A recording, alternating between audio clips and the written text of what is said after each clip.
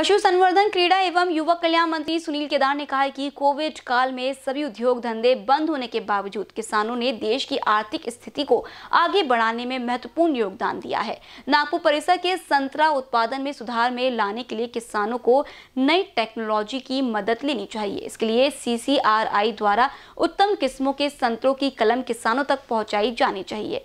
उन्होंने सीसीआरआई को नागपुरी संतरे को विश्व व्यापी बाज़ार उपलब्ध कराने की दृष्टि से अनुसंधान करने के भी निर्देश दिए। वे भारतीय कृषि अनुसंधान केंद्र के अंतर्गत केंद्रीय नींबू वर्गीय फल अनुसंधान संस्था द्वारा सोमवार को आयोजित फलों के खराब होकर पेड़ों से गिरने से बचाने से संबंधित प्रबंधन कार्यशाला को प्रमुख अतिथि के रूप में संबोधित कर रहे थे।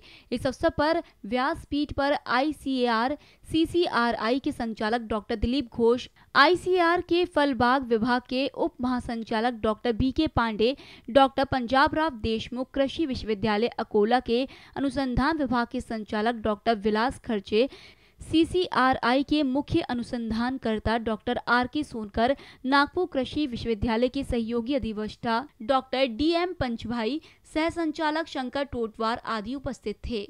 कैमरा पर्सन राजकुमार मोहड़ के साथ अभिषेक पानसी की रिपोर्ट।